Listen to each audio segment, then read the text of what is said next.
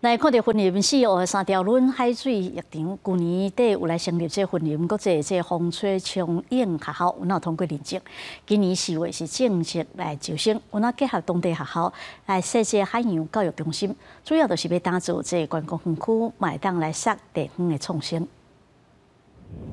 来到四号三条轮的海域，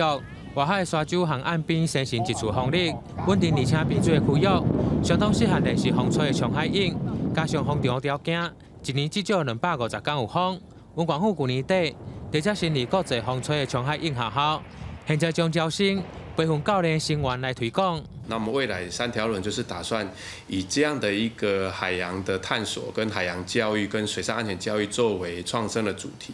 那我们也希望疫情结束之后，可以吸引更多的一个国际的一些喜爱风筝冲浪的一些年轻人呢，来到云林三条轮这地方。文广府计划处表示，为四月份开始，国际风吹冲海婴的学校正式来招生。目前已经有不少人报名来体验。广府目第四号向三轮国小设立海洋的教育中心，要提供免费的水上安全教育训练，好囡仔会当安全亲近海洋。这个鼎湖国小、三间国小的暑假的水域安全教育活动，呃，已经编排在七月份，呃，四天的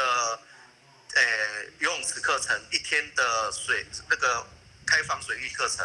各位处长讲，四号乡位在云林沿海，过去以传统的渔业为主，现在要加入地方创新，